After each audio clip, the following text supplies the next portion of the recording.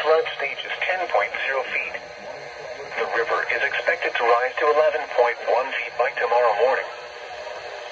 The National Weather Service in Springfield has issued a flood warning for eastern Cherokee County, eastern Crawford County, Barton County, Jasper County, McDonald County, Newton County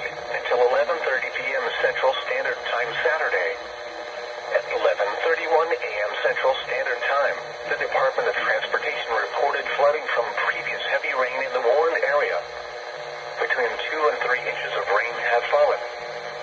Some locations that will experience flooding include Joplin, Carthage, Neosho, Lamar, Pineville, Webb City, Carl Junction, and Galena.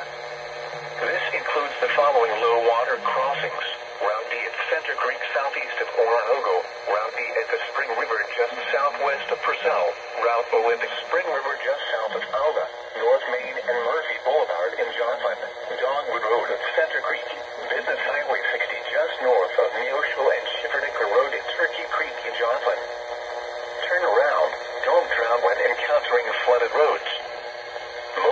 flood deaths occur in vehicles.